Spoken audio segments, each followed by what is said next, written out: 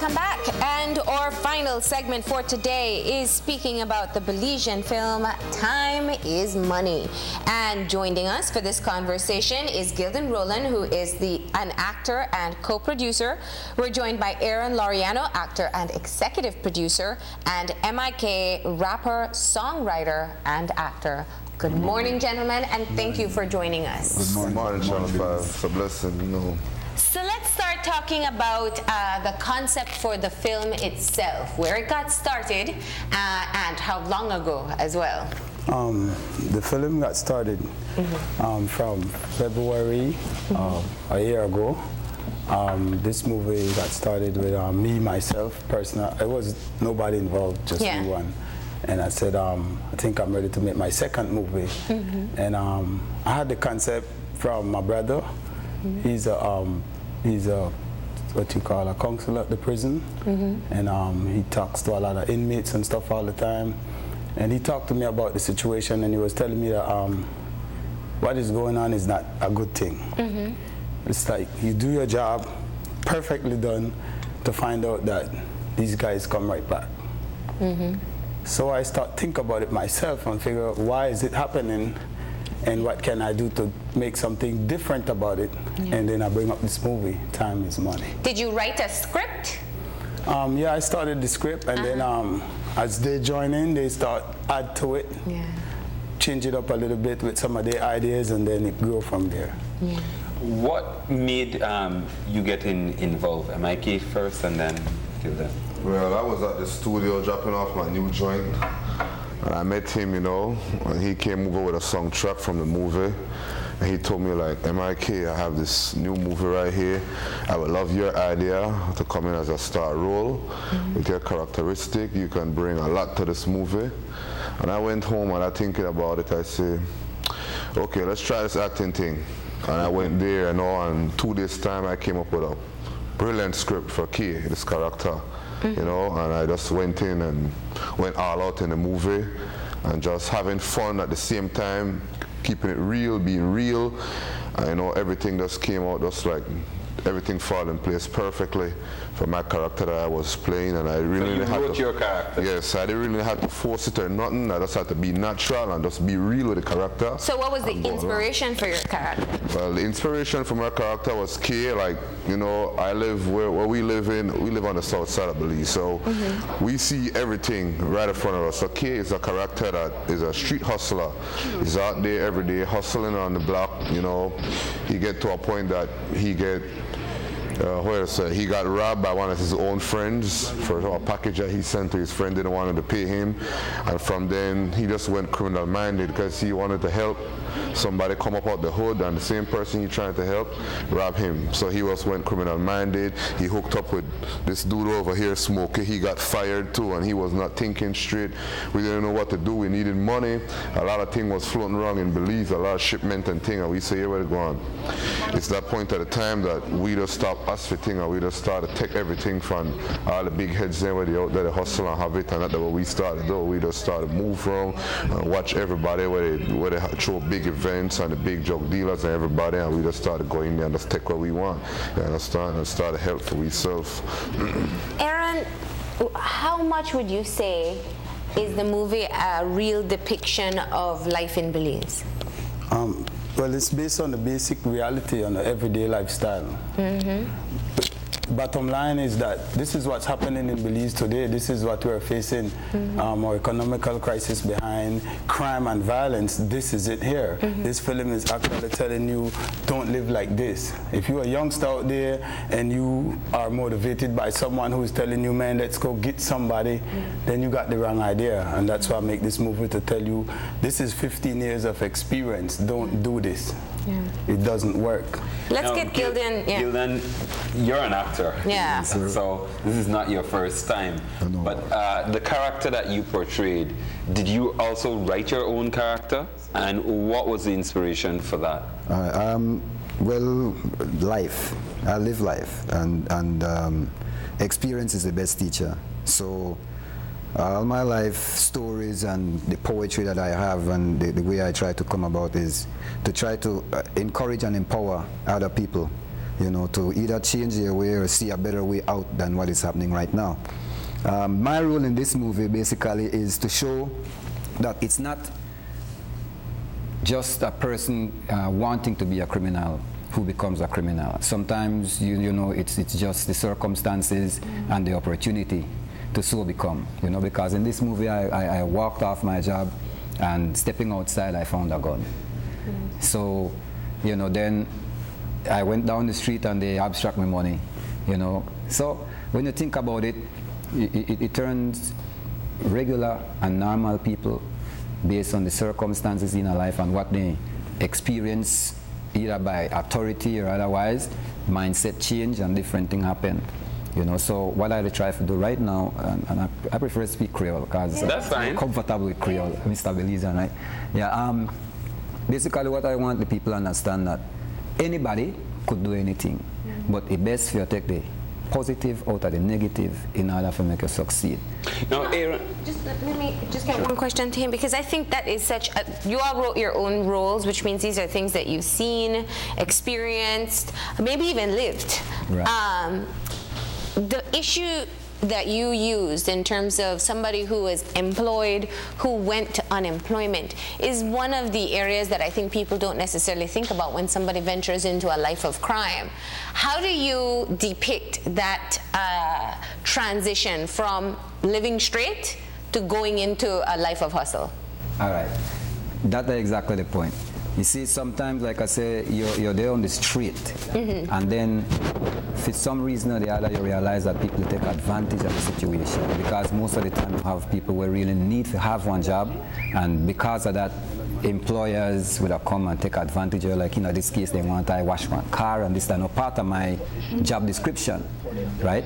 So I just work off for the job. I can't have you the, the undermine me, basically, right? And this is one of the things we believe we need to start to realize. We need to start to create that, that, that ability to strengthen self in order to succeed. Because yes, each and every person need to work, but it not necessarily have to be the job you have. You see, and again, to you must find um, what job where you have a passion for in order for it to be rewarding and to make you put out your best. Yeah. I think in most cases that believes when we move backwards because we know not do exactly what we would have liked to do. No. And I, I, wanted to ask Aaron a question because obviously getting people to come on board, you have a uh, skeleton script more or less of what yeah. you want. So how, who did the the interweaving of the uh, characters that MIK and Gildan wrote um, to actually bring it into one thing to make it cohesive yeah. and not look like an add-on. Yeah, I did. Mm -hmm. I did. Um, how, how hard was that?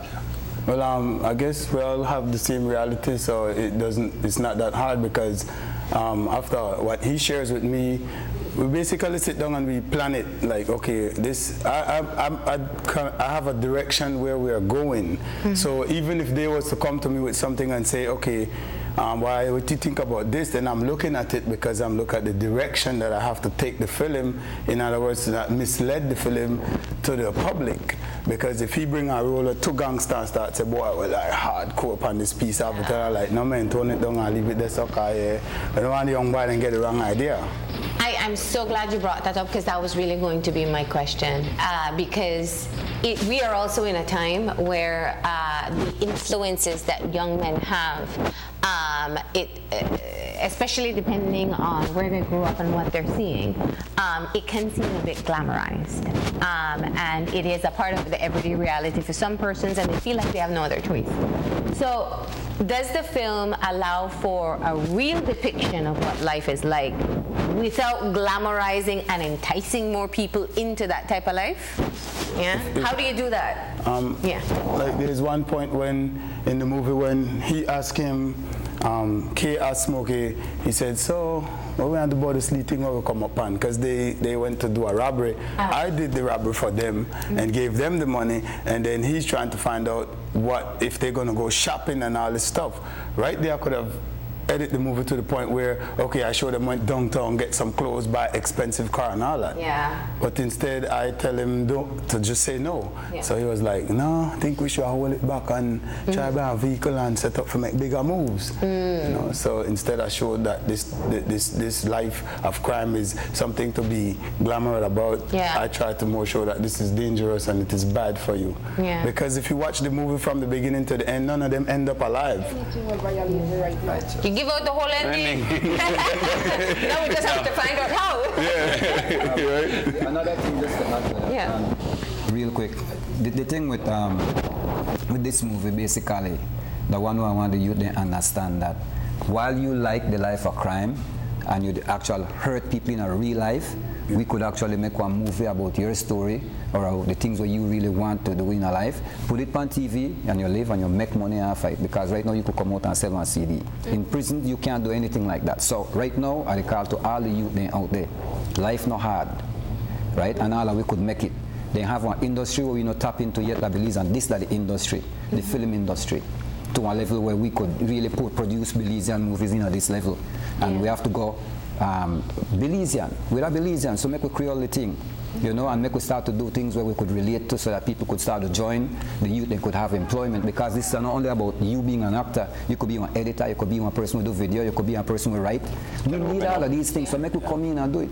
You know? Now, Aaron, you've had uh, a screening of it in Cayo. What was the response like? Um, I was not there in the day, so I, he was there in the day. I, I happened to went at the release party because I was not feeling well. I had the flu, so I couldn't have been there, and, and um, I ended up had to fight my way to get to Cayo because I was the main person. So you cannot not be there. But from what he explained to me, um, It was good. It was it was it was great out there, you know. Shout out to the police force, number one supporter. Every single cop came from Cayo and buy a DVD. Some buy two for carry home. So we love the response of the police force.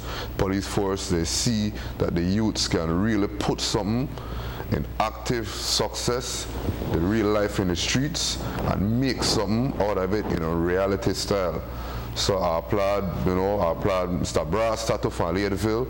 He called in already, I applaud with for the work over the door because the know we in the streets and the levels of the mind frame and the skills and the transition from an artist to an actor. But all we could do with the qualification and with talent, as long as we have the right drive to make it happen. I think it's, and, and I, I'm very sure for the police officers themselves, it's an opportunity to show people a way of life that not everybody knows. We hear the arrests and we talk about people going to prison, coming out and getting recharged, but we don't know the story behind it. Yeah. That's, that's one of my main goal. To um, as a Belizean film producer here in Belize, um, I had my first movie before named Can't Take It No More that I won the film festival 2011 with. So I got an award for that movie. But my goal is to I want to highlight more of what's going on that that people is not seeing. If I live in the area where you to tell me, boy, listen, I don't forget kick off and least something, I tell them, my boy, what you think about whole lot down, man? And next thing I see you on the news. Right. Are you really gonna do that for you? Then I not think to go with you, but I think to grab my camera and think, but we just say write that down and shoot that and make something out of that, cause you know the thing. Then when time you do your 15, I had to collect for the 15, right? Uh, if that what you want to do. What I try to say is transfer yourself into something instead of put yourself to nothing, right? Yeah. Now, um, let's talk about favorite scenes. Most powerful, most challenging, most impacting. Which ones uh, stand out the most for you? Let's start with MIK. Uh, my most favorite scene is when I went to collect my money from Blacker. Hmm. Send Blacker a package over and I found because he have a wild sale on his block so I figured he could move this thing in three to four days and Blacker intention was like no MIK and then they run about in the streets and they get trouble so better go on there and get gunned down before anything else, so we don't have to pay him. Because somebody had killed in the reckless the way how they move. So he decided that he doesn't want to take this. You understand? And I called and I asked him for my money and he said he don't have no money for me, this, that. So I went for the money. Then time white boy just come in and carry in and came to heal him at his yard. They was drinking, they was smoking, they was playing dynamos. And when I came for my money, he didn't want to pay me for my money and I had to discipline him. And the scene was so dramatic when I disciplined him. The Canadian, the Canadian man that was in there, he got so frightened, you know, the way he braced against the wall. That was my best acting role, the way he braced against you the wall. that convincing, he was really that scared. convincing that his friend died right here. This is the scene right here. When his, his friend died right there against the wall, and you know, I stick him up to, I took away his cigarette that he was smoking, uh-huh. and I and I took all the money off the table, and I went out. So that that was my most powerful scene in the movie. That Yeah. Yeah, And you guys? You understand? My partner showing you know, the, um, the trailer, the, the, but the most uh, powerful scene I want to really get the message across that when, two actually, Uh-huh. when this um, young lady come and tell my lady she need to move out because the life while they live this, that, but then she not realize that the life while they live that we provide better for my family. And I would want the woman out there stop discourage other people, woman, from stick with them. Because social issues come when time people in a single homes. Right, so stop to encourage your friend to left a man. yeah. I'm sure you mean that the next way around too, right? yeah. I'm sure you mean that the next way around too. Yo, um, let me let me hit on the point on that Yeah. too as well. Um, that that scene right there where I did that with the young lady that came and said, "Girl, um, in, in danger your baby, and you need to move out. You need to left him." Because the young lady sits on the step and she's saying that this guy likes staying with drug dealers, killers, and murderers. So what I'm the, the reason I create that scene is to try to talk to the younger females to let them know that that's not a life for you. That's not a life for your kids. For you to live like that. So eh, as it goes on, she pack up and move out. She like when he come like, what? This girl move out? Like yeah, that perfect. You're the sell drugs. You're the robber and thief. Yeah. Nobody no need to date you. Yeah. You know. So that was that scene. Well, I mean, if we look at real life instances, we've had homes that were shot at because of people who are associated. kids, yeah. And young children shot in their sleep. So Correct. it's not a far far off reality. Correct. So if that, if you if you live with somebody, then expect that. Oh, or you just tell yourself, "I know in this relationship I gone," which is the right thing to do. But that's not my favorite scene. Yeah. My my favorite scene are when Smokey took the stuff to Polo. I don't know if you see that or heard of that part. Mm-hmm. No, when, um, um, Polo, he called Polo on the phone and he tell him, he said, hey Tony, he said, um, I need for see you, I got something, I want to do some business. Was like, okay, come true. So when Polo sit there, Polo tell the dude, look man, this busy to come, busy to bring four kilo, but I want to shot in her face, I no miss. and then when he brought the stuff in and he sit there and put all the stuff on the table, the guy run down and still miss him. Now you that the man hit man and you look make everybody dead. you know, leave it a comedy there. Yeah, because now you got to hit man and then he end up to kill the hit man and then he pack up and he end up to shoot Polo and run out of the house with the stuff. Now, what I like the most about it is because he dropped right in front of me with everything. Mm. Well, unfortunately, we are running out of time, but how can people get copies of the movie? Um, they can just contact us at our phone or um, Facebook or something. Go ahead and tell Um, them. My name is Aaron Loriano. Uh, my number is 602-6171. You can just contact me or on Facebook or on my cell phone and get the movie. And if somebody else is out there selling it and it's not the right person, if it's not us. I like that. No bootlegging. One thing I would have just want to stick in there to um, actually to I would have want to say thanks again for this opportunity and um, I want to give Polo a shout out and I need the leads to know that um, Mr. Polo Lightburn, the casting movie, director, right? he is senior casting director international movies too, right? So um, just whenever you hear a movie come wrong, Polo that the man we need for link, right? We have the company going already, you know, really give it to a name and register it yet, but yes, we have it going on, right? And there are more opportunities for people to get That movie involved in acting now. And also in an international movie Yeah. because we just did a movie Heartbeat the same way. Yeah. right? Yeah. Right, so um, you know the opportunity on to the Belizean scene. tap into this this Nine industry days. and do better, you know. And we bang it out. I mean, Mr. Stephen Monroe, one of the top director in Hollywood, where did Scarface and all them movie. I applaud we, the Belizean actors. They're like, And San Pedro. they want to. Is this first time? you- This can't be the first time. That's like it's the first Natural time. we did it. talent. Natural. It was like banged out for the Belizean. And we went to play the bad guys again. We the bad, we the bad guys that's kidnapping everybody on the island. Look and out for thing. that in And- August. Yup. Um, um, San Pedro could look out for this weekend. Uh, Okay. You have your launch in San Pedro this weekend. Right, yeah, that's so what's the cost of the DVD? Um, 10 Belize. local. Ten, that's And, very um, I bring the two DVD for two months. Thank you very much. Right? Yes. Definite, right? All right, so pick it up for yourself. You can contact these guys to be able to uh, get your own copy of Time is Money. Uh, Belizean actors, Belizean producer, um, and of course shot on location in and Belize. The, and the movie The Talk Creole. And the movie Talk Creole, and about real life in Yes, Belize, yes. right? Let's not watch the guns because the guns have none to do I was about to say, while for some Correct. people they'll look at it and say it's too violent, I think if you want a good picture as to how things work within our society in some areas, It's strange how people meet me and tell me the movie actually funny. Mm-hmm. So I, it must have passed the violence, right? If they could laugh, right? Yeah. So, All right. Great initiative, guys. We look forward to, to seeing it, and uh, we'll let you know what we think, right? Thank you very much. We're going to go ahead and wrap up the show. We're completely out of time. So remember, if you want to contact us, you can contact us at OYE at channel5belize.com, Marlene underscore OYE at channel5belize.com. and William underscore OYE at channel5belize.com. Have a great day, everybody. And be sure to join us tomorrow morning at 6.30 when you open your eyes. To start your morning right. Until then, keep your minds and your eyes open.